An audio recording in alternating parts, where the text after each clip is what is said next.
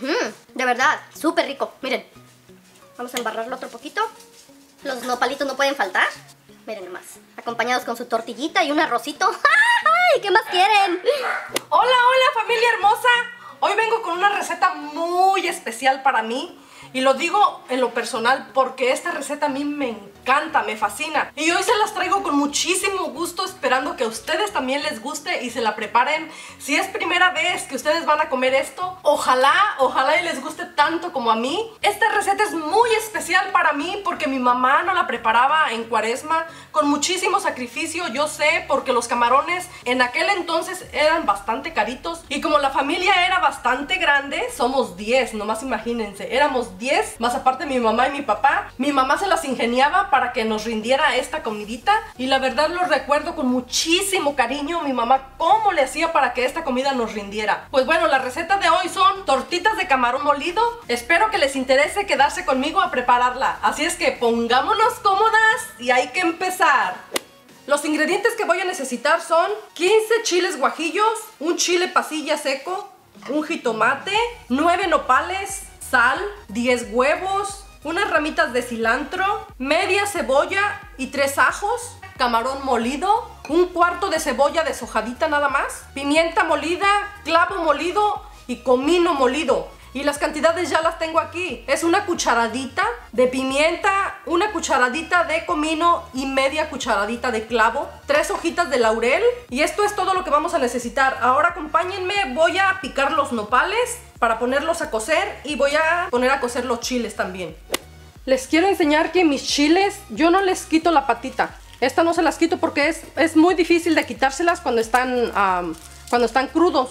Yo prefiero quitárselas cuando ya están cocidos, así es que nada más lo, único que hice fue abrirlos y así con todo y semillas y venas, así los voy a poner a cocer. Pero si ustedes gustan limpiarlos antes de cocerlos, pues lo pueden hacer. Acompáñenme, vamos a ponerlos al agua. Yo aquí tengo ya mi olla con agua, voy a agregar el jitomate y todos los chiles. Incluyendo el chile pasilla también, ese también ya va abierto, ya lo abrí. Voy a esperar a que hiervan unos 5 minutitos. Mientras voy a picar los nopales. Los nopales que estoy utilizando yo son naturales, los corté ayer de mi yarda y los pelé. Pero si ustedes no los encuentran o no les gustan así, pueden comprar enlatados. Ahorita lo que voy a hacer es picarlos. Los que están muy anchos, los parto a la mitad y los corto en rajitas. Porque si los hago en cuadritos se pierden mucho en lo que vamos a preparar.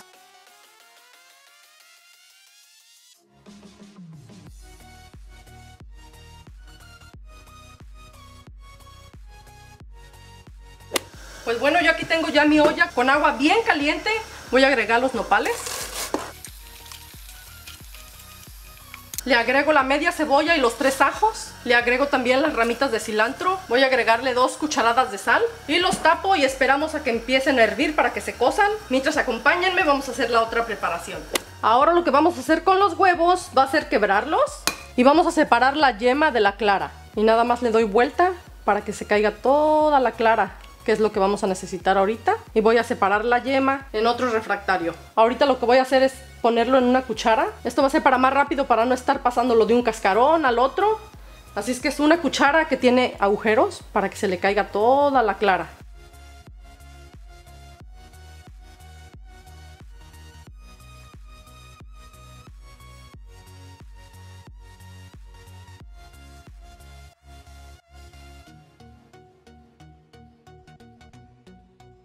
Ahora lo que voy a hacer es subirla a punto de turrón. Yo voy a usar mi batidora porque es mucho más rápido.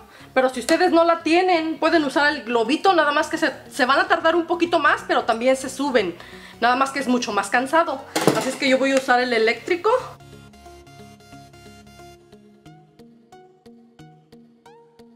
Ya que llegamos a este punto de que no se nos vaya a caer del molde, vamos a agregar las yemas. Las yemas las voy a revolver a velocidad baja, porque no quiero que lo blanco se me baje muy rápido.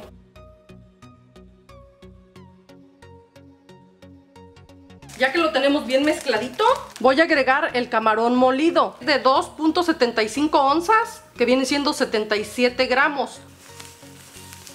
Se la voy a agregar toda, voy a empezar a revolver, pero muy lento. Quiero que mi huevito siga quedando esponjadito.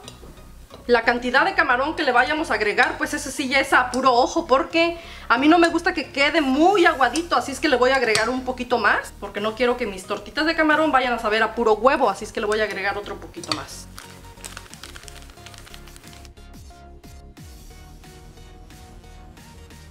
Como pueden ver, esta es la consistencia que a mí me gusta. Que esté espesita pero manejable, miren. Ahora acompáñenme, vamos a prepararlas. Como pueden ver, yo aquí tengo un refractario ya con servilletas porque aquí los voy a ir poniendo para que se absorba todo el exceso de aceite. Y también tengo mi sartén con bastante aceite, como pueden ver. Lo tenía calentando a fuego mediano, ahorita ya le bajé a fuego lento porque los camarones no necesitan el fuego a muy muy fuerte. También voy a necesitar dos palillos de los largos. Pero este es gusto personal, ustedes pueden usar un tenedor para voltearlos, pero a mí me gusta mucho con palillos. Se maltrata menos el camarón. Lo grande que ustedes los quieren, pues ya va a ser opción de ustedes. Yo voy a agregar una cucharada por cada tortita de camarón, pero es cucharada grande. Ya voy a voltear este que fue el primero que puse.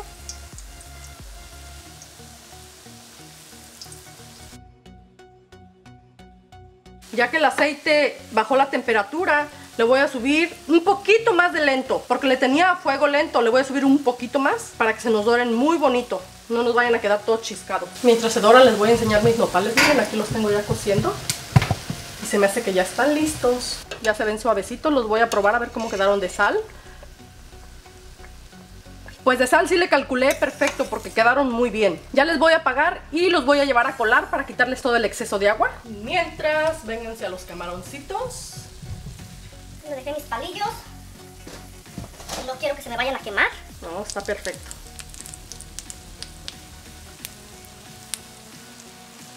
Vamos a ver si ya está el primero que agregué. Si sale el palillo limpio, quiere decir que ya está. Miren. Estos dos ya están perfectos. Ya los voy a sacar. Y los voy a poner en el refractario que tengo con la servilleta de papel para que absorba todo el exceso.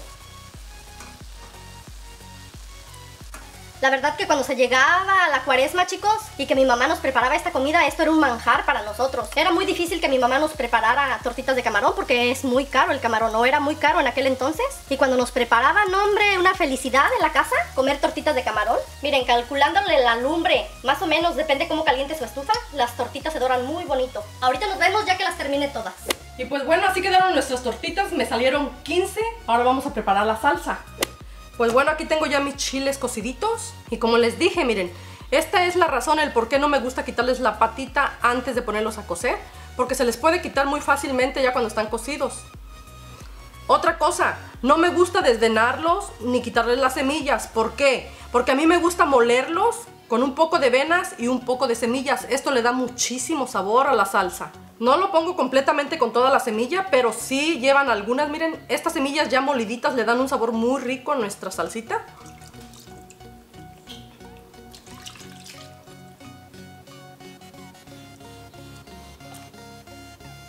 Le agregamos el jitomate. El chile pasilla también ya lo agregué, fue el primero que agregué. También voy a agregarle el agua aquí donde se cocieron. Es por eso que a mí me gusta cocerlos con todo y todo, con su patita, con las semillas, con las venas, porque también el agua lleva mucho sabor. Ahorita ya es tiempo de agregarle el comino, el clavo y la pimienta.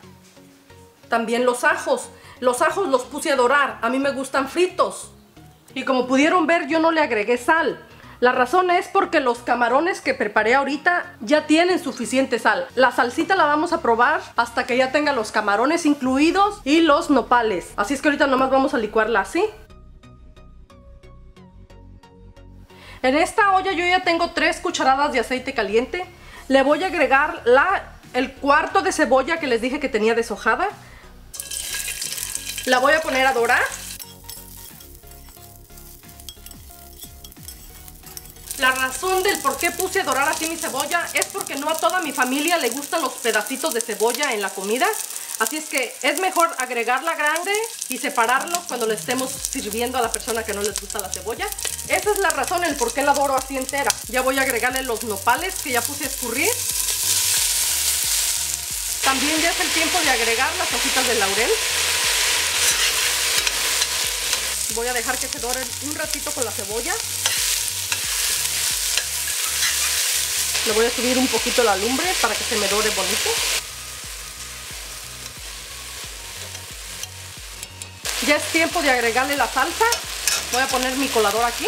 A mi salsa le agregué un litro y medio más de agua para que se pueda colar bien la salsa, porque si queda muy espesa batallamos mucho para que se cuele. Así es que por eso le agregué un litro y medio más de agua. Y como pueden ver, está más líquida y pasa más rápido en el colador. Voy a ir colando poco a poco.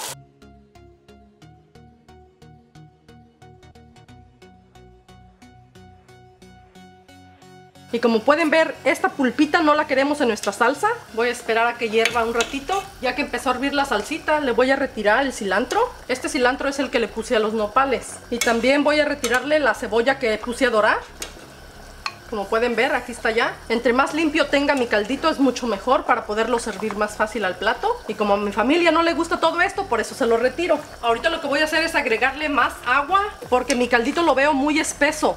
Y cuando agregue los camarones, esto va a absorber muchísimo jugo y no quiero que me vaya a quedar seco, así es que le voy a agregar agua antes de agregar los camarones. Y cuando ya no quiero dejar hervir por bastante tiempo, porque no quiero que mis nopales se me hagan tan aguados, agrego agua purificada. Ahorita voy a agregar un litro de agua purificada.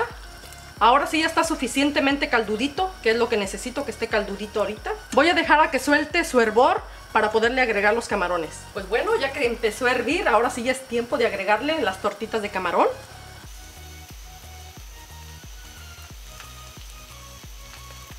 Las sumergimos bien.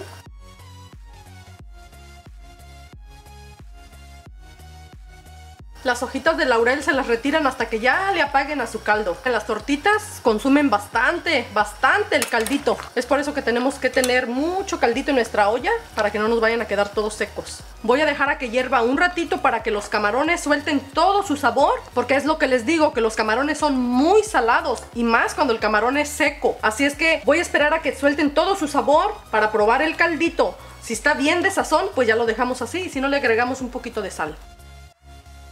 Ya lo probé y sí le falta un poquito de sal, pero voy a ir poco a poco, porque no quiero que me vayan a quedar salados. Ahorita le estoy agregando menos de la mitad de una cucharada. Se la voy a agregar aquí en un ladito, para que se vaya todo para abajo y empiece a agarrar el sabor parejo desde abajo. Voy a esperar un ratito para volverlo a probar. Pues ya está listo, chicos. Quedaron perfecto con la media cucharadita que le puse de sal y quedó perfecto. Así es que voy a servir para enseñarles cómo quedó.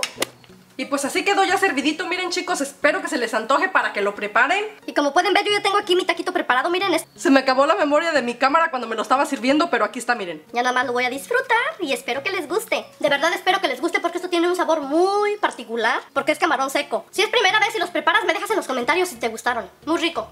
Voy a comerme otro pedacito de aquí. Miren nomás, chicos. Y el camarón, miren. Está súper jugosito. Miren cómo sale el... Cómo sale el caldito, miren.